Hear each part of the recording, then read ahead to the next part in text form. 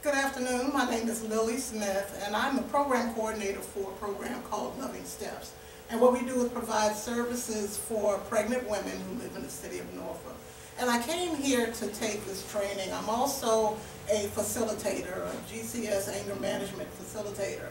And the information I'd like to bring to you uh, can kind of start off with my scripture of the day, which is Romans 8:28.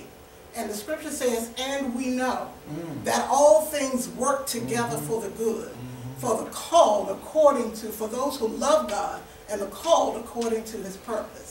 And the reason I chose that scripture is because even though we go through different situations, we go through trials and tribulations, all of those things that we go through in our life, there's, for, there's a purpose for it. Mm -hmm. God has a design for us.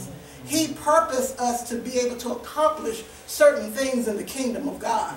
And regardless of what it is that we go through, God is going to bring us back on course. He's going to make sure that we accomplish what it is that we have to accomplish in the kingdom of God.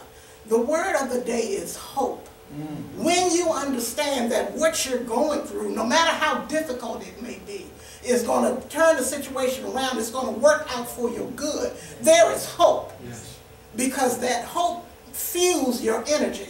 That hope fuels what you're, what it is that you're attempting to do because you know that there's a, a better outcome at the end of the day. My color of the day was orange. Orange I thought was vibrant. Orange is exciting. Orange represents like a new life, a new beginning, a new focus, something that, that can really catch your eye. When you see something that's orange, you immediately turn around and you take a look at it because it's not humdrum. It's something that's going to bring attention to itself. Okay? And my um, uh, phrase of the day is it doesn't matter. It doesn't matter where you come from.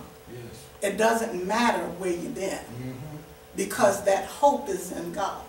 It's not in our own selves but it's through God.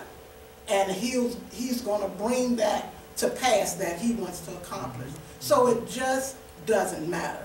Don't allow your circumstance to hinder you from getting to the place where, where you want to go. Mm-hmm. Don't allow your past control your future because one is just going to help you get to the next.